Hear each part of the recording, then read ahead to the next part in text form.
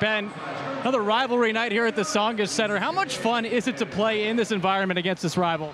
Yeah, it's awesome. Uh, it's a great environment, obviously, and uh, they always give us a tough game. Ryan, what a sequence there at the end of the second period. And how about your guy Luke and net doing a fantastic job? What have you liked the most from what you've seen from him today? Yeah, he's been our guy all year. Uh, he's a brick wall in net. Gustav Stavs Grigals came into tonight with the best save percentage in the country. How much fun is it to play in front of him? I mean, yeah, I mean, everyone's got trust in him, right? He's, he's uh, the best goalie in the country right now, save percentage wise, obviously. Let's check in with the third member of our broadcast team. It's Joe Weil.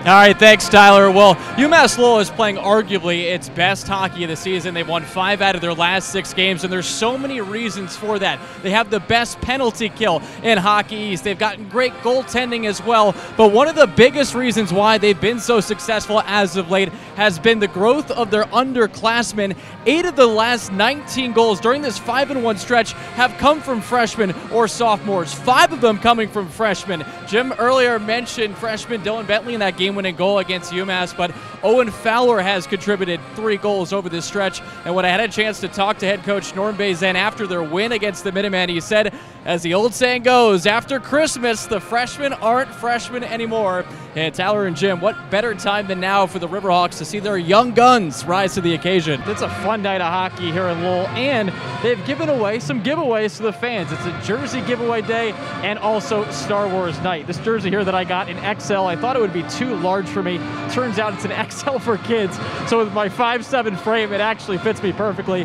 but the Star Wars night has been a ton of fun. A lot of people dressing up tonight. Saw one little girl in a Darth Vader costume, but they've been also giving away these lifesavers as well. Tyler, I can only imagine that this is what heaven must be like for you. Hockey and Star Wars all in the same place. Well, Joe, they, they told me I would get to call this game with you and a former NHL goaltender. I was like, well, what else can you do for me here? And they said, how about lightsabers? Let's check in downstairs with the third member of our team, Joe Weil. Well, Eric, it's a bit of a full circle moment for UMass head coach Greg Carvel every time he comes back to Lowell. Back in 1989, Carvel's first year as a player with St. Lawrence was actually against the Riverhawks at the old Tully Forum in Billerica. And I asked Coach Carvel before today's game if he had any memories of that game. He said it's one of the few he actually remembers. He didn't remember the final score, and who could blame him? It was roughly 33 years ago, but he did say, I fully remember tying up my skates and putting on my jersey for that game and being nervous nervous. I don't remember a lot of my games from college, but I do remember that one. St. Lawrence did play the Riverhawks each of the next three seasons, and on the other side, suiting up for UMass Lowell, UMass Lowell head coach Norm Bazin.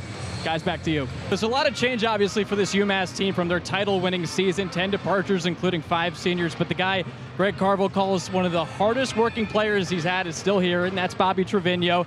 Coach Carvel even admitted when he talked to us before today that it will be an uncomfortable day when Bobby is not on the bench. The only guy of the same caliber of work ethic in Carvel's mind was Mario Ferraro, of course, a former UMass player under Carvel, now starring with the San Jose Sharks. Not a bad person to be compared to, guys. Let's send it down to the bench. Joe has Coach Norm Bazin. What an environment tonight with this rivalry game. Fans back in the stands. How satisfying is it now that you know you came away with a win? Well, it's always great to come out with a win. I thought it was a, an excellent hockey game. It was back and forth, as you saw, and two good teams.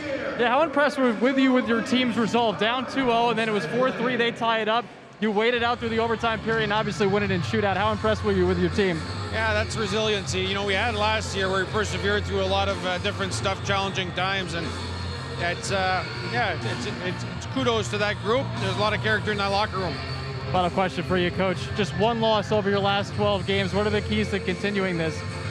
Well, you know what? It's uh, continuing to grow the group. It's a good group of kids, and uh, we certainly have many areas to get better, and we'll work on that tonight.